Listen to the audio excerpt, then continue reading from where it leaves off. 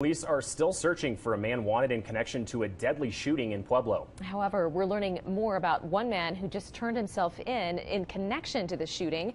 The suspect, Austin Aragon, is charged with second degree murder and attempted first degree murder. KRDO News Channel 13's Barbara Fox is live on East 6th Street on Pueblo's east side where the deadly shooting played out. Barbara.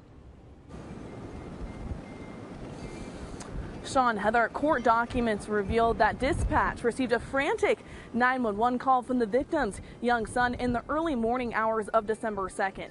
At the scene, police found 32 year old Alonzo Valdez dead and a woman who had been shot six times. On December 2nd, Pueblo dispatchers received a call from a boy that his mom was shot in the heart.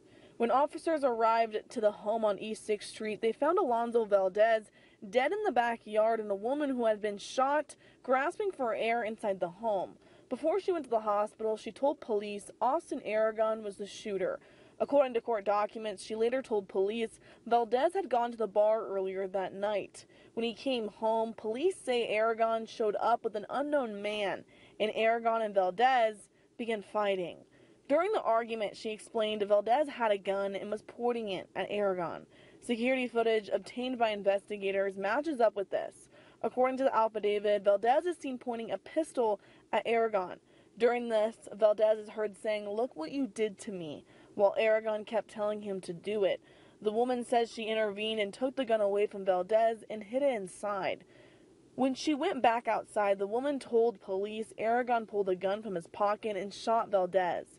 She told police to protect Valdez and her children. She charged Aragon punching and swinging, but was shot. After landing on him, she managed to get the gun away, but the unidentified man pulled her off Aragon. She's not sure who shot her, but she was shot one to two more times before they left.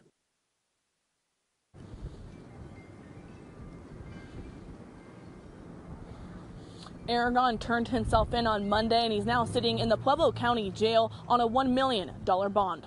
Reporting live on Pueblo's east side, Barbara Fox, KRDO News Channel 13.